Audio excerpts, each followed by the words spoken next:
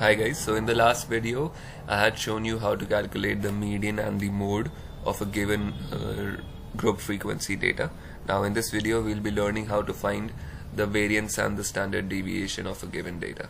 So let's suppose that we have this hypothetical data here of 10 students and their scores are listed as well.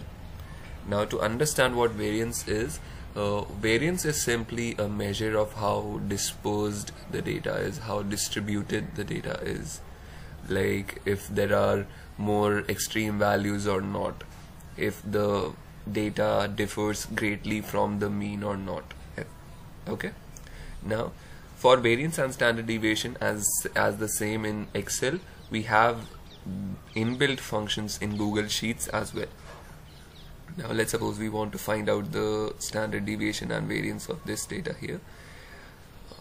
To find the variance you simply need to type in equal to type in the word VAR now you can see there are uh, multiple options that you can use uh, var.p and var.s now p and s stand for the population and the sample okay now if you're given the whole population if you're given the data of the whole population you use the function var.p and if you're given a sample a small part of the population uh, you are you use var.s now let's suppose that we have 10 students in this class therefore we have the whole population.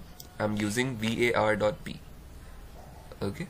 Now inside brackets simply select these scores complete the brackets press enter that's it you get the variance as well. Okay. Now to calculate uh, standard deviation type in equal to type in the word std we type in the word stdev and again the same thing as was in the variance we use stdev.p here. Now select this data here complete the brackets press enter and that's it you get the standard deviation as well. Now the point to be noted is that variance is simply the square of the standard deviation. Now to verify that let's say uh, I type in equal to sign select this print, uh, type the multiplication sign and select again. Now you can see that these values now these are e exactly equal so this proves that variance is simply the square of standard deviation. That's it for this video. Thank you.